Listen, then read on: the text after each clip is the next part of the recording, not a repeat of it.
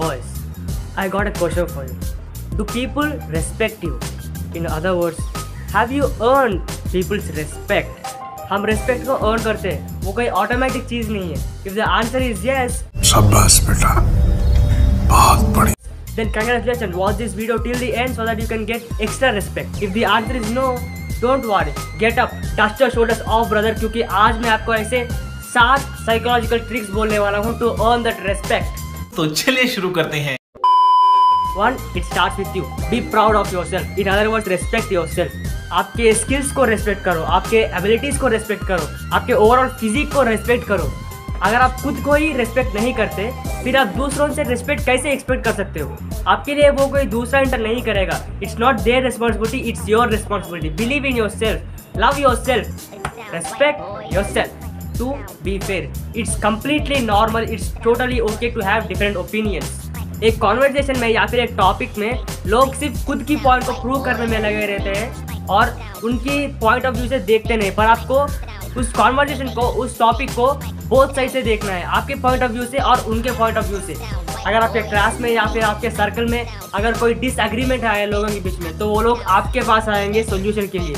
क्योंकि आप दो साइड से उस प्रॉब्लम को देखोगे और उस सिचुएशन को अंडरस्टैंड करोगे और राइट डिसीज़न दोगे। उसके कारण पीपल आपकी रिस्पेक्ट करें। Three be smart be educated in various different topics expand your knowledge expand your experiences अगर आप खुद को मेंटली पुश नहीं करोगे to learn new skills to learn something new तो लोग आपकी रिस्पेक्ट कैसे करेंगे? तो लोग आपकी रिस्पेक्ट नहीं करेंगे, क्योंकि आपके पास वो स्किल्स वो एक्सपीरियंस नहीं है जो किसी दूसरों को हेल्पफुल हो सकते हैं. Learn any new skills every three months expand your network expand your experiences अगर लोगों को कोई भी डाउट हो तो आपके पास आके पूछेंगे because you have the potential to solve that problem क्योंकि आप उस प्रॉब्लम को पास में एक्सपीरियंस कर चुके हो. उस प्रॉब्लम में आपको कुछ नॉलेज है कि आपको नेक्स्ट क्या करना है to solve that problem and obviously people आपको रेस्पेक्ट करेंगे क्योंकि आप उनको हेल्पफुल हो रहे हो। And fourth trick to command that respect is to be well dressed and well groom भाइयों, हम सबको पता है कि first impression is the best impression अगर आपकी ड्रेसिंग सेंस एक फाइव ईयर की किट की तरह है no then how can you expect people to respect you same goes with the grooming आपकी हेयर ऑन पॉइंट नहीं है, आपकी बियर्ड ऑन पॉइंट नहीं है। You look like a homeless will people respect you no आपको एक professional की तरह, एक मेच्योर मैन की तरह, एक मैन विद स्टेटस की तरह ड्रेस करना है and same goes with grooming आपकी ग्रूमिंग ऑन पॉइंट होनी चाहिए। और हम इस चैनल पे वही टॉपिक डिस्कस करते हैं। हम यहाँ men's fashion grooming fitness lifestyle के बारे में डिस्कस करते हैं। अगर आपको इस एरिया में बहुत इंटरेस्ट है then don't forget to hit the subscribe button by be kind अगर आप लोगों से एक गधे की तरह बिहेव करोगे and you are always aggressive क्या लोग आपकी रिस्पेक्ट करेंगे? नहीं ना। आपको एक नॉर्मल पर्सन बनना है विथ काइंड हार्टेड और काइंडनेस को वीकनेस मत समझना। काइंडनेस होता है being helpful being nice being friendly to other people six stand up for your self as well as for others you should be strong physically as well as mentally confident you should have the courage to stand up for your self and for others future में लोग आपकी बेजती कर, आपके mistakes को point out करेंगे. This is the hard truth which we have to accept आपको use करने के लिए आप लोगों को एंटरटेन नहीं कर सकते. You shouldn't entertain them to walk all over you you shouldn't entertain them to जज your life without knowing anything you have the right to say no stand up for your self as well as for others अगर एक आदमी दूसरे आदमी को disrespect कर रहा है तो आप उस आदमी के लिए स्टैंड अप करना है।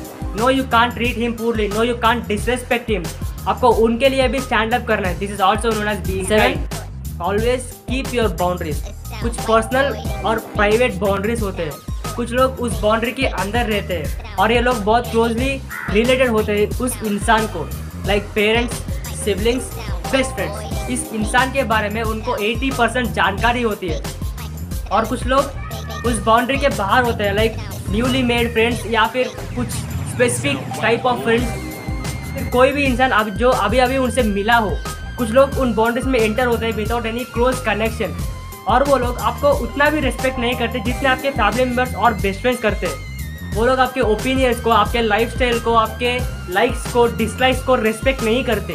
वैसे लोगों को आपको बाउंड्रीज दिखाना है। No this is too much move out from my boundaries this is your position in my life ऐसे आपको बाउंड्रीज सेट करना है उन लोगों से।